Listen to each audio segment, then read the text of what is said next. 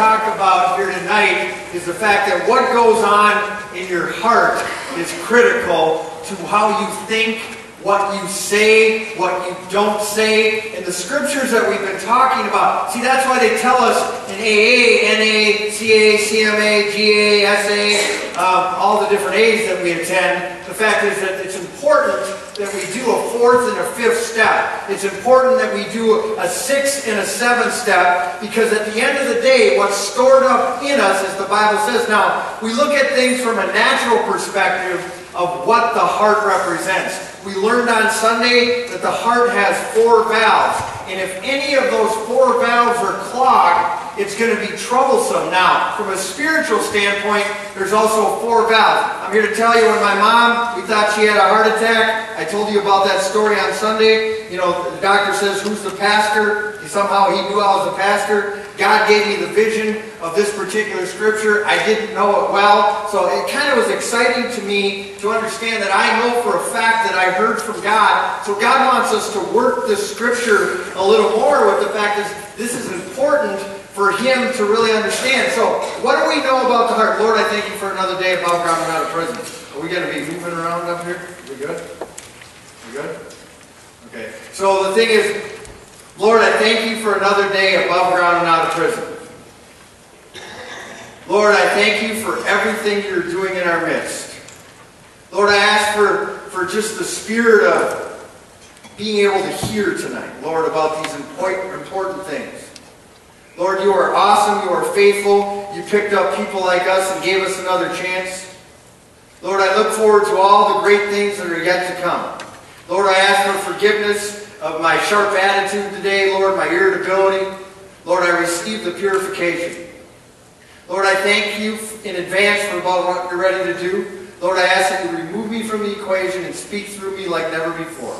In your name we pray, amen. amen. So, what the heart is saying here in Jeremiah 17, 9 is the fact that the heart is deceitful.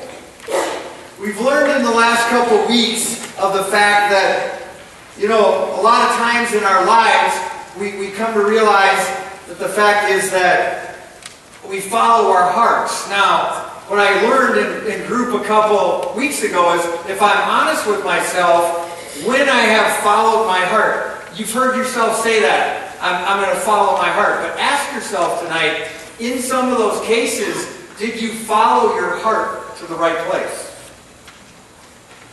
How many times did I, did I, did I listen to the lie that I followed my heart? Because the Bible's saying that the heart is deceitful above all things. What that tells me is this, that your heart will override everything. That's what we've been talking about the last couple weeks. But as I was studying for this today, it says, your heart is deceitful above all things. It is desperately wicked. Now, I always used to blame my wicked behavior on when I was using. But before I used, I thought about doing wicked behavior. Now, my addiction always took me farther than I'd want to go. And I've learned that now years later is the fact of is that, that I'm, you know, your heart is desperately wicked. Now, now let's break down those two words. Desperate and wicked. In my addiction, when I was desperate, I did some wicked things. Did anybody else do some wicked things? So look at the correlation between desperate and wicked. So I know even in my recovery, if I'm honest with myself, and if I'm not taking advantage, as AA says, the daily reprieve, you know, contingent on your spiritual condition, depending on my spiritual condition, I might get desperate in my recovery and do some wicked things. And that was a wake-up call for me. Because I always thought that wickedness came from my addiction. See, and that's what that video is so important. The fact of is that, that, that, you know, out of the heart the mouth speaks. So I want you to really understand from a spiritual standpoint, it's teaching us about our hearts. Now it says, who can know it? So that, that tells me this. I mean, why do I do the things I do? Why am I, you know, acting this way in my recovery? Why, why did I do that in my addiction? Why do I think the way I think? That's what the Bible is saying here now. Who can know it? I think we spend too much time trying to figure out why we are the way we are. You know, and that's why if you're really honest with yourself and you're anything like me, I did my own self-evaluation and I wrote my own prescriptions. I prescribed myself crack, prescribed myself alcohol, because I didn't understand why I was the way I was, and now it's about here in the Bible that it all comes down to the heart. You know, and, and it says, who can know it? Now it goes on to say, the Lord searches the heart. So that's what God is looking at. He's looking at your motives. Why are you here? What are you trying to accomplish? See, I was the type of guy, and it wasn't for the wrong reason, but I went to treatment trying to get my family back. Trying to beat a case. Trying to do something, you know, trying to get back what I lost. But those, those reasons, I, I come to find, aren't going to cut it. You know, and, and, that's what it's saying. The Lord searches the heart. See, one thing I know about people, including myself, is my true colors will eventually show. The why behind what I'm doing will always be revealed. Sometimes quickly, sometimes slowly. But I mean, and, what it's saying here now is it says the Lord searches out and it says try to rein it. So I mean, I, I've tried to change. Only God can change me. See, I'm responsible for the effort. God's responsible for the outcome. But it says that God looks at the fruit of your doing. So if you're, you know, I'm, I'm not I tell you what you want to hear, but what the Bible's saying here is God is looking at what you're doing. He's looking at what's in your heart. He's not really paying attention, nor are we, on what you're saying. What you say doesn't mean anything. What you do means something. And it's hard to hear. The truth hurts. And one thing I've learned about the truth, the truth isn't going to adjust itself to me. I've got to adjust myself to the truth. But the key is what it's talking about the heart here is that will always call us out. Proverbs 4.23, it says, keep your heart with all diligence. What that tells us is this. You can correlate it with the 10th step. You've got to be aware of the condition of your heart. We've talked about that over the last couple weeks. You can have a soft heart one minute. Your heart can harden from what somebody said, from something you saw, from something you heard, from something you didn't hear. Can, you know, we all know what it's like waiting for somebody to say something nice to us, and a day never comes. Could it be as a child, hey, I'm proud of you. When instead you heard you'll never amount to nothing. The heart hardens. Waiting for somebody to forgive you and they never do. See, that day may never come. But if you learn to experience forgiveness, it, it, it, it's not going to really destroy you if you experience forgiveness for yourself when somebody doesn't forgive you. See, the ninth step of AA doesn't promise you that people are going to forgive you. What it promises you is your side of the street will get cleaned up. See, and, and we've got to understand what it's saying here. It says, you know, you know, keep your heart with all diligence, for out of it springs the issues of life. So what that tells me is this, that everything that has ever happened to you is right here.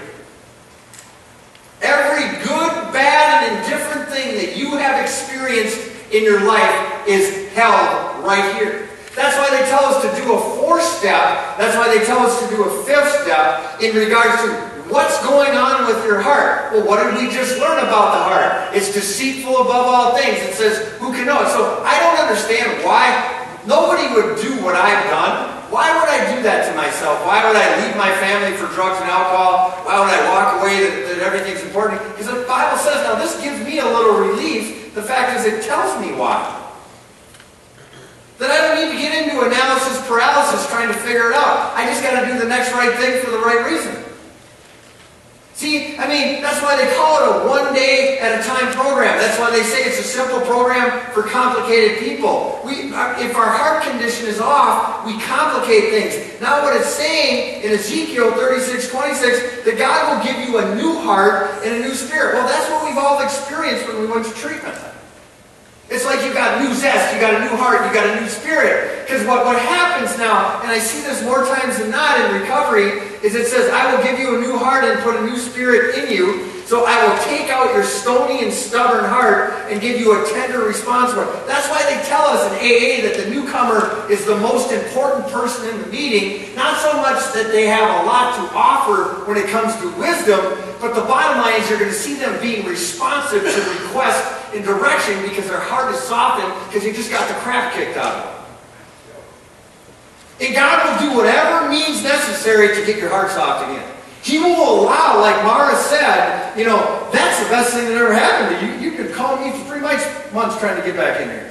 See, God wants your heart soft. I mean, I, I mean, isn't it something? And the farther you get away from your last drink or drug, that your heart, because of the world and you allowing the world to harden it, you're not as responsive as you once were to the voice of God, to people asking you to help out, to go help out somebody that's in need. All of a sudden, you're too busy and the only thing you're busy with is the thing that God allowed you to have back, because if it had anything to do with me, I'd wreck it again. So I can't be too busy with what God has allowed me back. So I got to ask God continuously to remove my stony, stubborn heart and give me a tender, responsive heart. Then we learned in Proverbs 4.23, above all else, the Bible says, guard your heart. So once God gives, see how many times if you go to treatment, your heart was soft, you were responsive and tender, you were willing and open-minded, you got a sponsor, you went to meetings, but slowly but surely your heart hardened, you weren't as responsive as you once were because you weren't guarding your heart. The Bible says, above all else, guard your heart. But your past hardens your heart, your present hardens your heart, your fears about your future harden your heart. And, and before you know it, you're not responsive to anything. Lost your sensitivity. Nobody can tell you nothing. You've got all the answers. Entitlement creeps in. You're going to call your own shots. And the Bible says that pride goes before destruction. Let me be very clear with you. My best thinking got me locked up. My best thinking got me homeless. I'm telling you, I'm creative. I can come up with a game plan quick. But boy, the game was over. The best thing that's ever happened to me when God said game over. Either you're going to come with me or you're going down.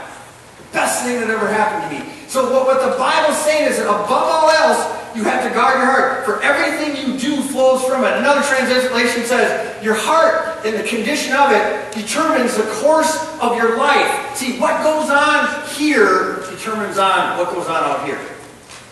And you've got to understand that it's extremely important to grasp the fact that this is important. The condition of this is important. This could affect you might use tonight, or whatever it may be. So tonight, I want to talk to you about the vision that I had, where it says the facts on what God looks at and what He wants. So what did we learn? Now, it, it says in Psalm 17.3, what are you planning? See, I mean, I had much respect. Where's Jacob? See, in my group last week, I mean, I, people get twisted towards me all the time. People, you know, get twisted towards Serenity Village. So in our group of 40 men last week, I said, is anybody twisted?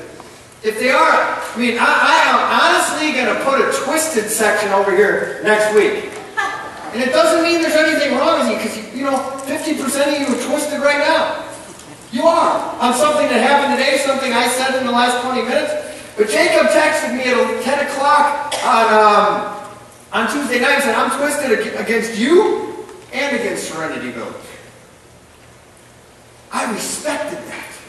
You know how many people say stay twisted and do foolish things and never say anything about it? How old are you? A 20-year-old saying that to me.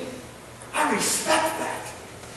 I, you know, and we talked about it, and later on that night, you know how much courage it took for him to say that? I mean, as we were talking, I didn't take it personal. I didn't, you know, but I mean, I'm here to tell you, if you don't talk about that kind of stuff, so what it's saying here now is like, what are you planning? It says, though you probe my heart. See, I mean, I, I, we put this house together, people were running 18, 19 hour days with me. I was watching them. I was watching how much stamina they, they could keep up with. But it says, though you probe my heart. I, sometimes God and, and your sponsor, they might like to push you a little bit to see what you're made of.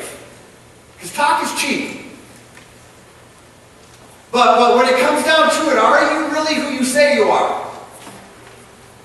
Are you really who you appear to be? And what it's saying, I mean, we've all been in the doctor's office when they probe stuff. But I, I, I, I sometimes, it's interesting to me when, when I begin to push some people a bit. Okay, you say you're real? Let me push you a little bit. Boy, you find out who they really are. And that's what the Bible's saying here is, though you probe my heart, examine me day and night, you find that I have planned no evil. So now, I, had, I looked at the word planning. So how many, see, I, I've learned over time that what you behold, you become. So if I'm thinking about it, the majority of the time I'm going to end up doing it. For example, your last relapse, or something that you planned, you know, you were thinking about. So God here now is looking at what are you planning on doing? And, and it says in your mouth. So, I mean, I, I they told me, call my sponsor on the way to the bar, okay? If I'm on the way to the bar, it's too late. Because I've been locked and loaded for many hours, if not days, what I'm going to do. I've been planning it. And I'm not saying God can't intervene because there's no temptation that sees you. That's just my experience. It's my experience, so don't judge. But I mean, that is my, because I mean, I've been, I've been mesmerized with drinking and I don't tell anybody about it. See, Jacob told somebody about it. I respect that. And are you twisted now? See, but how many people just think like staying twisted? See, and, and, and, and it's like, it's, I mean, Scotty and I were joking about it. He says, I'm, you know, I, he gets twisted, I get twisted. See, but you mean getting twisted and staying twisted are two different things. See, I don't want to stay twisted. But it says, probing my heart. Now it says in Deuteronomy, now this is the scripture. When I was in the emergency room with my mom, God said, go to this, and I didn't even know it. So what does God want from you? It tells us right here. And I think it's the age-old thing. It's a step three. Make a decision to turn our will and our lives over to the care of God. I, I really want you to focus on the word care. So, I mean, do you believe that God can care for you better than you can care for yourselves? You've got to remember that your best thinking got you here. My best thinking got me here.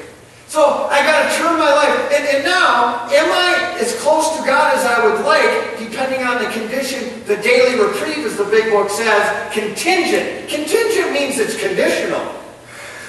See, I, have been talking with Jackson. I mean, he's totally twisted. totally twisted where he packed his bags. Pardon me for throwing you out on Front Street. But I'll throw me and my family out on Front Street to help you out any day of the week. Moved his stuff out on Sunday night during church, turned off his phone. Don't tell me you don't get twisted. A drastic, drastic craziness. Sat with him on Sunday night at 2 in the morning because he's important to me. And I said, you know what? The, the Spirit's just put in my heart right now is that, you know, you, you got to watch what affects you. You, you've got to watch because on a daily basis there's a lot of things that will affect you. And if you allow your heart to get hardened, if you allow yourself to get twisted and not text somebody about it or ask somebody about it, what happens is the ability of being affected, you get infected. And you know from a medical standpoint, if you're affected by something and it turns into an infection, it's a different ballgame. It's a different set of treatment. It's a different you know, coming out of it thing. So, I mean, as I talked to him, we talked about, so last night I sat with him and Nikki, and, uh, you know, I said, now, what, what, what, how did you get here? Because you didn't get in this position that you were in on Sunday where everything blew up. It just didn't happen Sunday when you woke up. There's been stuff going down before. This stuff has been stuff, stuff has been talked about, and different things. So we began to talk about the controllable versus uncontrollable things that happen in life. Now, there's things that can happen, like Scott and Penny, they, they, they're building a new house. They're getting married in less in about a month, actually. They're, you know, so those are, those are, you know, there's a lot of stuff that they can't control what happens in the next 30 days. Is this going to go as well as planned? Is that going to go as well as planned? But what they can control is, are, on, are they on their knees in the morning? Did they read their devotional this morning? Did they go to church? Did they, those are controllable things. So if you're if you're doing well with your controllable, when the uncontrollable circumstances that can affect the condition of your heart happen, it doesn't hit you like it is. And that's what I talked to Mickey and Jackson until 2 in the morning last night. I'm not getting much sleep lately. And what's happening is that, that you got to control what you can. Now, the word control you can't misconstrue for what it really is. You do have power to, to get closer to God. You can get on your knees. You can read a 24-hour-a-day book. You can tell somebody you're... Those are controllable things. When life happens on life's terms, and any drug addict and alcoholic, I hate life on life's terms. But when it happens in your recovery, if you're doing what you can do in the controllable, you, the uncontrollable things won't affect you. And, and, it's so important that you understand that what is God looking for? He wants you to respect, He wants you to follow, He wants you to love, and He wants you to serve Him. So now, I, I want to just quickly evaluate those four topics. And we talked about the valves. Now, Dan McKenzie sent me a text at about 1 in the morning on Sunday. Bless my heart. Bless my heart. He says, you know, if two of the valves are blocked, the other two don't, even though they're open, they don't function the way they should. So you got to understand, if you're not being respectful, you're not going to be able to follow. And if you're not following, respecting, are you really serving? Are you just serving yourself? Or are you serving for the wrong reasons? See, we, have got to understand how all these things are intertwined when it says it. So now, so the, the first question, and for some of you that were not here on Sunday, it won't make 100% clarity, but you'll get there within five minutes. We're talking about a valve, of the heart. The heart has four valves. Now we just recently, just now, read a scripture that says that what does God want from me? He wants four things from you, the Bible says. There's four valves in the human heart. Now we're looking at the heart from a spiritual condition where it says it's, it, it's, it's, it's deceptive above all things. Out of it springs the issues of life. Once God gives you a new one, you better guard it because by not guarding it or guarding it, it will determine, the Bible says, the course of your life. No different. I mean, if you get sober and don't work a fourth and a fifth step, that fourth and fifth will always, be carrying around baggage your whole life.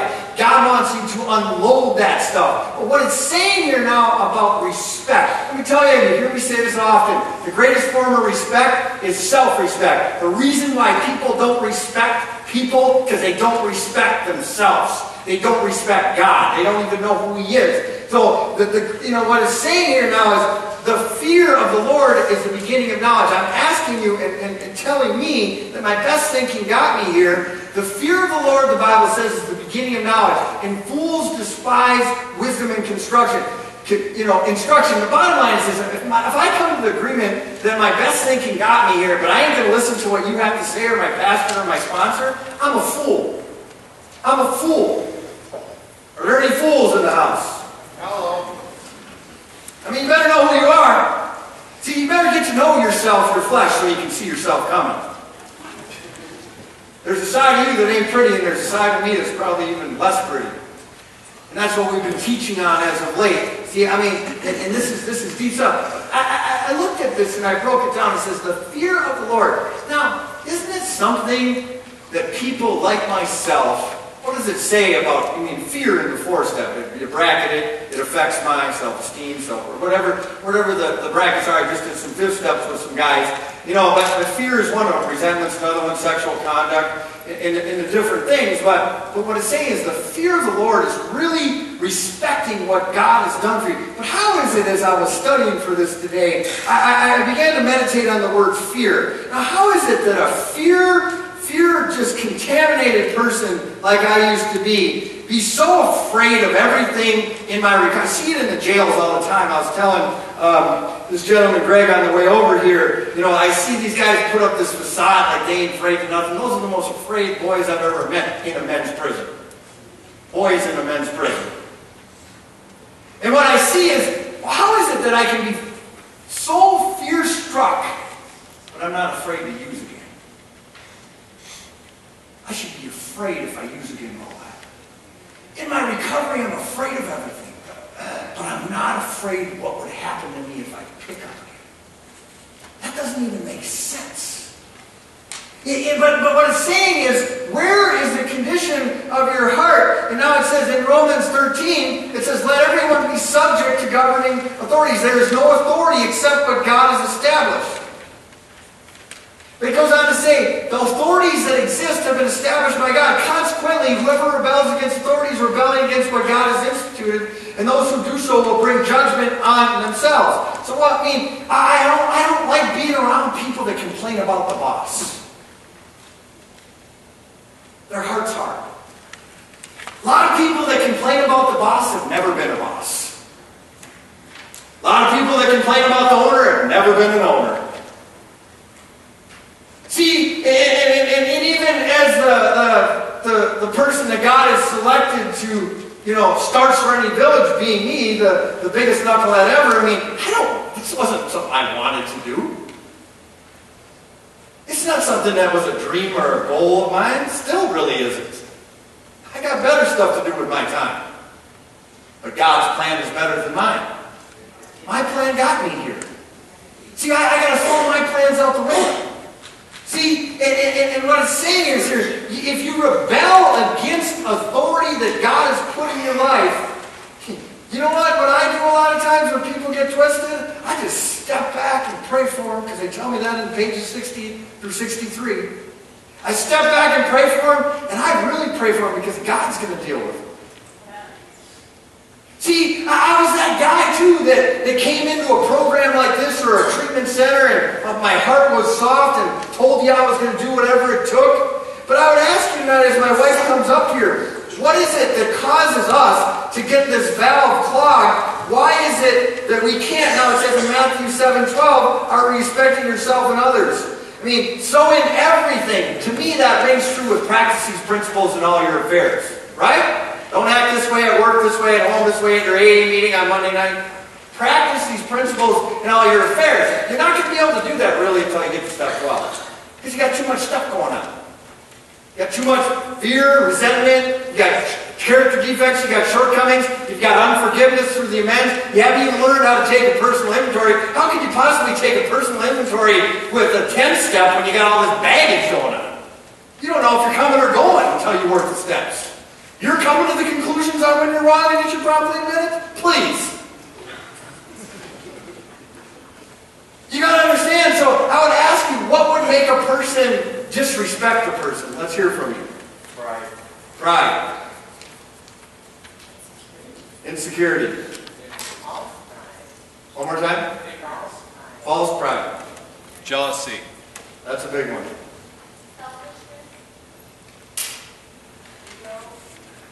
I don't think everybody under the sound of my voice is good at respecting people. We should have more answers than this. Fear. lying, hurt, thickness, Laziness. Anger.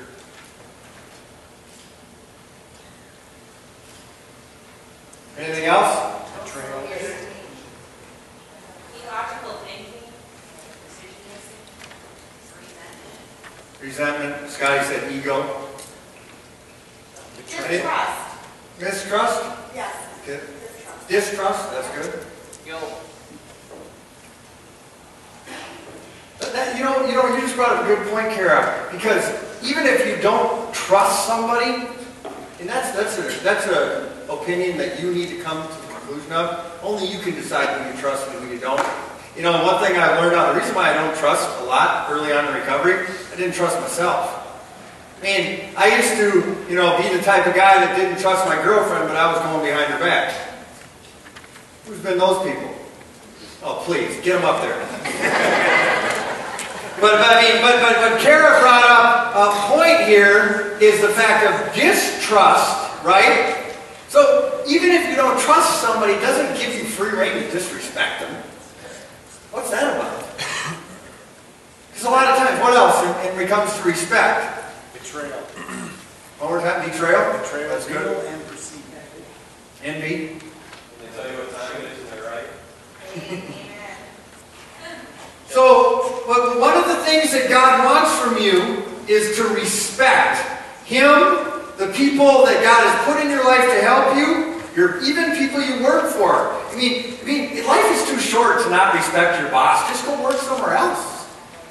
Lot of, I mean, you hear me say this often. I mean, we've got over 100 employees in our company, and we got a lot of superstars. The superstars get up every day and kick butt. The ones that couldn't get a job for the life of them at any other company complain about everything. It just doesn't make sense. You know, I get calls all, all the time. I mean, 20, 30 calls a day from people who've got 100 questions that are, you know, we're used, I mean, you used to be like me. I mean, you're, you're living nowhere, but you've got a criteria of where you want to live. You got a single bed, is there cable internet? Dude, where are you at right now? I'm at the bus station. well, they got a single room down there, internet? I don't know.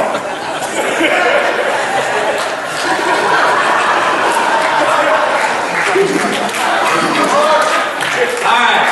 Matthew 7 12 says, So in everything to others what you would have done to you. The reason why people treat people badly is because they think badly about themselves. The world says treat people the way you want to be treated, but if you've been mistreated, you're going to mistreat. If you've been abused, you're going to abuse. If you've been abandoned, you're going to abandon. If you've been all those things that don't make any sense. I've seen it a million times helping people with domestic violence. I swear I'll never hit anybody because I've watched my dad hit my mama, and the next 10 years from now, you're hitting your wife. The devil is a liar.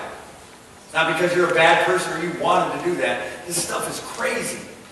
And it comes down to the condition of your heart. So the second thing that God is looking at the heart valve condition is who are you following? Now it says in Luke 9 23, it says, Are you being selfish or selfless? You know, and, and, and humility is not, you know, and I love what purpose driven life says about being selfish, but in Luke 9 23, it says, you know, then he said to them, Whoever wants to me be my disciple. What that means is this there's nothing you have done that can disqualify you from this. So don't listen to that voice anymore. I don't care how many times, and God doesn't care, and we don't care how many times you screwed up. The fact if you're under the sound of my voice, you still have another opportunity. See, God, God does stuff where it says, whoever wants to be my disciple must deny themselves. You got to come to the realization that it's no longer about you. It's not about you anymore. And that's what the Bible's saying. It says, you know, take up your cross daily and follow me. I would ask you, you, you cannot follow yourself. Quit following yourself. You've got to follow God and follow whoever God put in your life. That's why they tell us in AA attraction rather than promotion. Now it says in Hebrews 13, 17, are you a joy to deal with? I mean, I was one of those guys, if you were to ask anybody, got to go deal with Jeff. Or I mean, I got employees, oh, I got to go deal with him again. Are you kidding me? Why does he still work here? I mean, I don't want to be one of those people. But what it says now, obey your spiritual leaders and do what they say. Their work is to watch over your souls and they are accountable to God. You know, that really stinks for me. That I'm accountable on how I act towards you and what I do or don't do if you're in this program. And I'm a people pleaser. I don't want, see, my whole life was built on what you thought of me. So when I got to come down on something, that stinks for me. I hate it. There's some people on this planet that love that. It ain't me. It ain't anybody that's a leader for me either. And, and, the key is that what it says is obey your spiritual leaders, do what they say. Their work is to watch over your souls and you're accountable to God. Give them a reason to do this with joy, not with sorrow. They would certainly not be for your benefit. I mean, how many times have you told your boss off and then got fired? Who lost? Your boss is still a boss. You ain't got a job. You know, and, and we can, but, but I'm going to ask you, as my wife goes up there real quickly, is that, I mean, what would make you not follow God in your sponsor or this program? What makes you not do that? Rebellion. Fear. Rebellion. Ego. Being alone. Control. Self-doubt. Unfairness.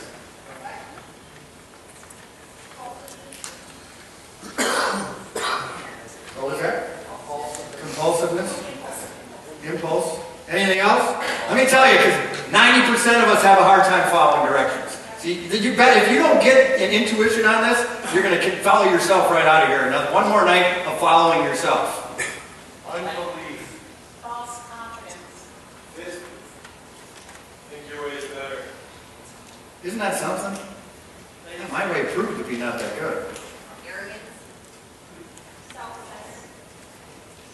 Laziness. Somebody said idolatry. That's good. Fear. Still I have ten dollars in my pocket.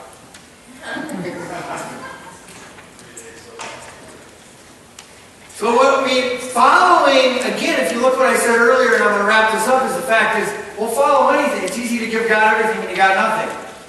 Like, like Andy just said, when I got 10 bucks, I ain't following nobody. I mean, let me tell you something. If God can trust you with 10, He can trust you with 100. If He can trust you with 100, He can trust you with 1,000. He can trust you with 1,000. He can trust you with 10,000. If He can trust you with 10,000, He can trust you with 100,000. It's all what can He trust you with. Let me tell you.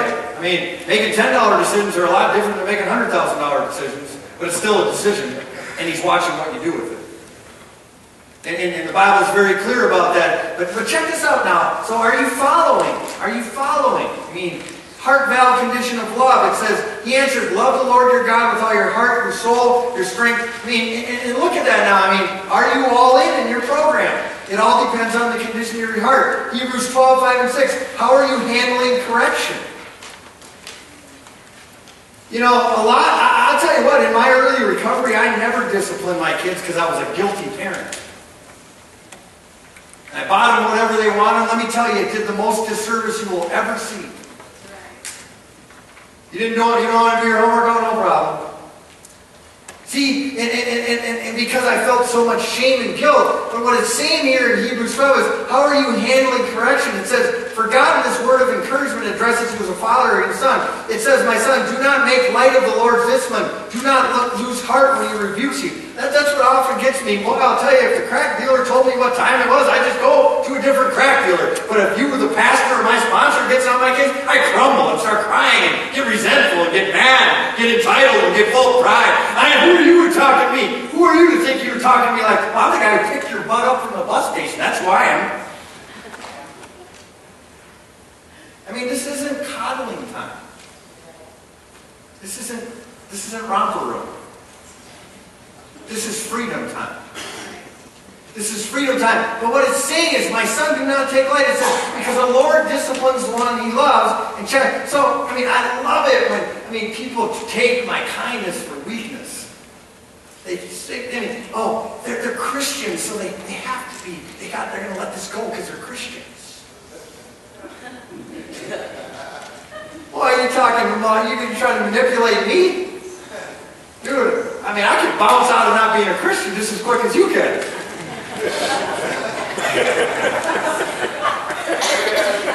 but I mean, I am a Christian, but we also got principles here. And, and, and it's like, you know, don't, don't, I mean, that's one thing I, I've seen in, in, in myself and other people is, you know, as soon as a manipulative person finds somebody that will help them, they just take them to the cleaners. Before you drop them off, you got 10 bucks, you got 20 bucks. Well, you gave me 10 last week, give me 30 this week. Take an inch, give an inch, they'll take them on. And if your heart's hardened and you've got a sense of entitlement, you feel this world owes you something, it ain't, it ain't how it works. See, I mean, it, says now in 1 Corinthians 6 is, how are you treating your body? Do, don't you know that your bodies are temples of the Holy Spirit who is in you, whom you've been received from God? You are not your own, you've been bought with right. Boy, I wrecked my body. And still don't eat right. Still don't drink enough water. But I mean, I mean, do I love myself? Do I treat myself with respect? And if I do that, I treat you with respect. In John 15, 13, is anyone benefiting from your life? That's a big question you have to answer from your, for yourself. Who is benefiting because you're on the planet? And I would ask you, what stops us from loving? But it says in the Bible, there's no greater love than this to lay down one's life for your friends. I mean, I mean, the people in, in, in AA that are solid AA people, NA people, people that, that are part of Serenity Village or the they lay down their life so somebody like me can get this. So what would make you not want to love? Let's hear some things. Betrayal. Fear. Fear of rejection.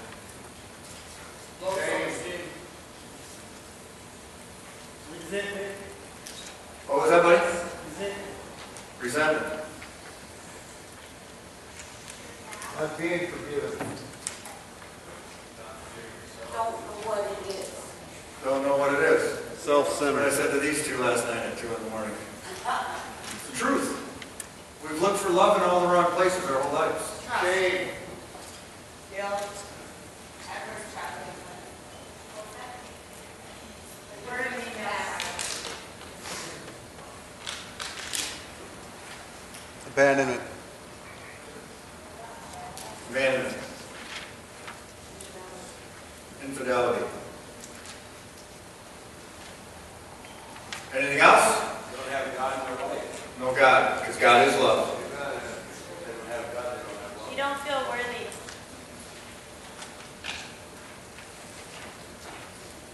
And I'll tell you what, the reason why I use drugs and alcohol is because I didn't know how to receive love. I didn't know how to receive it from God. I didn't know who God was. I didn't know how to give love. I thought love was conditional. I grew up in conditions at a young age. You'll be proud of me if I score a goal. You'll be proud of me if I do this. And then once I started doing the things that didn't make them proud of me, that now defined my life. See, and, and, and what it's saying now is the last heart valve of service. Let me tell you, you got it. I, really got it before you guys go the group. If you're not operating on all four valves, you can't really serve if you don't love. I mean, that's why everybody quits serving because their heart's not in it. They do it because they have to. As soon as they don't have to do it, they don't do it. Serenity Village is not a place that you have no other options than just to come here. You know, so, I mean, if you're operating tonight, you know, it's a good time to look at this stuff, but I'm going to ask you real quick. It says, I plead with you to give your bodies to God for all He's done for you. If you don't, if you're not, if you're not working a program and you're not at service and you don't respect, you don't follow, you don't love, you don't serve, you fail to recognize what God has done for you. I don't even care if you don't believe in God. You should not be under the sound of my voice if you use drugs and alcohol like I did. How many people have driven drunk in this room? What if you would have killed somebody? What if you did? See, I mean, but what it's saying is here, I plead with you. Why would anybody have to plead with person like me who's been to 11 treatments to work a program? Why do your house leaders have to plead with you to hit a second meeting? Why do they have to plead with you to get a sponsor?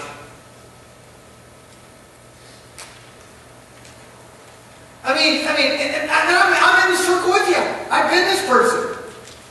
So, I mean, this isn't about saying you're a bad person or trying to say, it's about get to know yourself so you can see yourself coming.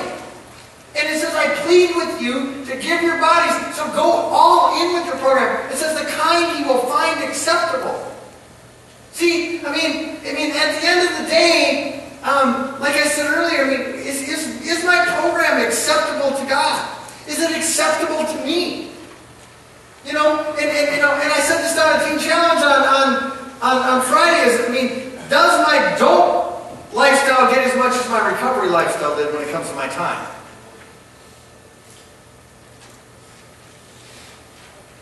And, and what in John 12, 26 is, are you attending SV missions and outreach? God put Serenity Village on the planet with the addition of the church, not because we deserved it or we're good, because He is good. What do they teach us in AA? Be of service. Why are you not serving? It says right here, for God is not unjust. He's not going to lose his reputation over you.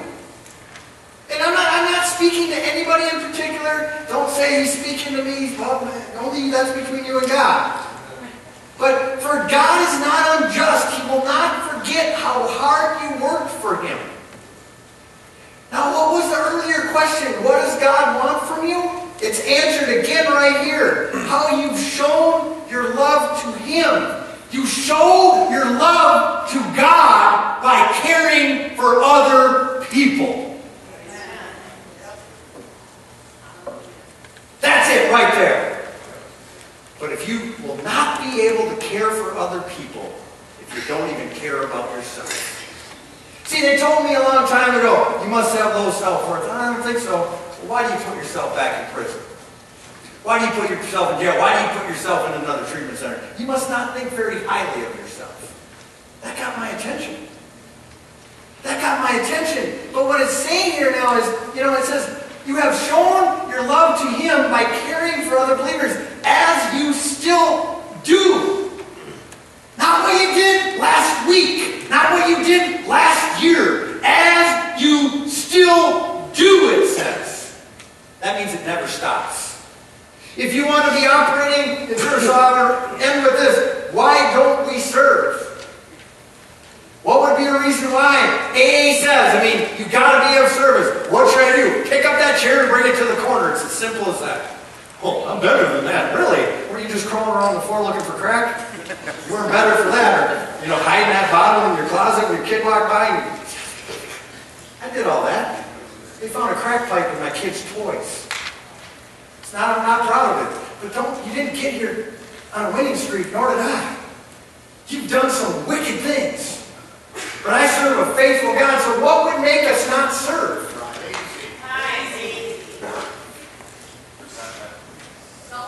Priorities. Self-centered.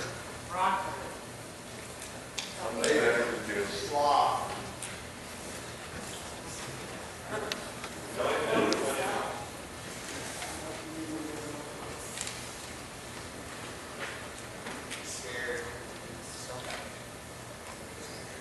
Got nothing to offer. Some of us just, I didn't even like being in crowds. That's why I didn't like to get involved. I had too much anxiety. But I did it anyway. Be selfish.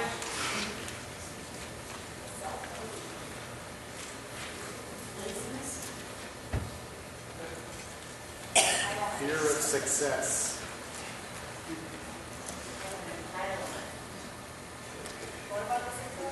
Fear of success. And I'm going to close with this. If you don't change, your clean date will. If nothing changes, they teach us in the program, nothing changes. 2 Corinthians 13, 5. Tonight you have an opportunity to get treated or checked before you need another treatment. See, it's one thing to do a self-evaluation. It's another thing when they, they've got to, I've been through enough treatments.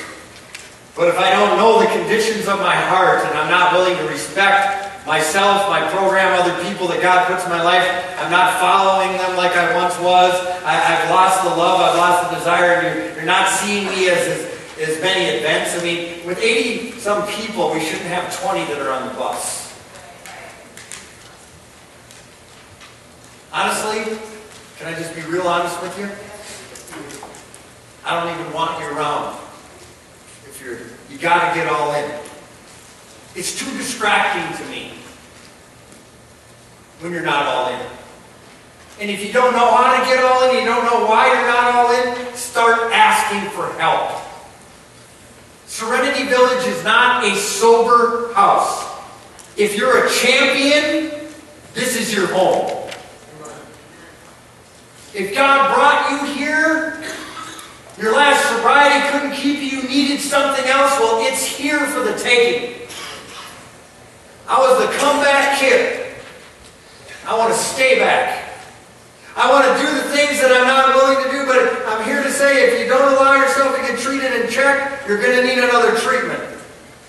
It says, test yourselves to make sure you're solid in the faith. Don't drift along taking respect, following, love, and service for granted. Give yourselves regular checkups, and if you don't, somebody else will check you. Says, give yourselves regular, you need first-hand evidence, not merely hearsay, the Bible says, that Jesus Christ is in you. It shouldn't be, I mean, if, have you ever been around people like me, and you've got friends in the program, and something's just a little off, and you're wondering to yourself, I wonder if they're still working a program. Let me tell you, if you're wondering, they're not working a program. It's just how it is. And it says, give yourself regular, you need first-hand evidence, not merely test it out. If you fail the test, do something about it. It says we're rooting for the truth. I mean, I don't want to be the person anymore like I've been my whole life, where you want my sobriety more than I do. You got to be hungry. You got to be disciplined. You got to respect. You got to follow. I mean, you know, quit, quit. I mean, I can't even say this in church, so I'm not gonna. But the, the thing is that quit really, you know, taking for granted where God has put you and realize. I mean, who's been around a good leader before and didn't listen to him? Boy, you wish you'd get around that guy again, don't you? You're a good boss, but you took it for granted. Now you got a terrible boss, or so you think. See, now is the time to seize the moment. And as we go into our, our, our groups here after a 10 minute break, I would ask yourself to look, if you're any of these things, you need to get checked. You need to do what Jacob did. I honestly, would people get offended if next week we had a section that said twisted? Would that offend you? It, it might get crowded. I mean, I mean, I mean, that just says I need help. It's not to belittle you. It's to say that I'm not right today. You're not going to be right every day. You're not going to be mentally strong every day. You're not going to be spiritually solid every day. That's unrealistic. I'm not. There's days that I want to jump on a plane and never to be seen again. It happens to me, it happens to you. You are in the right place. Take off your shoes and enjoy the ride. I love you. God bless you.